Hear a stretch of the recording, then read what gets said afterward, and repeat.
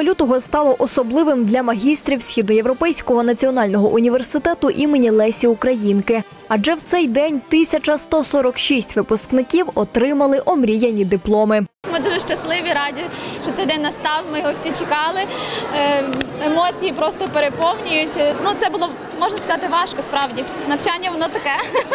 На обличчях молоді посмішки. Кажуть, студентське життя було насичене та водночас дуже складне. Ми маємо мали безмежну кількість можливостей відвідати інші країни, познайомитися з новими людьми, працювати з крутими людьми, які просто ти кайфуєш. Так трошки страшно, бо це вже університету немає, це вже треба починати щось нове, це нове життя.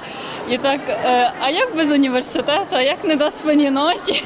322 студенти отримали дипломи з відзнакою. Ректор університету Анатолій Цьось переконаний, це дуже хороший показник. Нині ж для магістрів головне знайти, як то кажуть, своє місце під сонцем. Це ціла армія молодих людей, які мають відповідний рівень знань і готові працювати в різних галузях нашого господарства. Любіть свій університет і своїх викладачів, і при нагоді не забудьте сказати добрий день чи дякую. Із завершенням студентських років випускників вітали чиновники, духовенство та їх рідня. Тепер університетські лави лише спогад. Втім, на декого чекає аспірантура.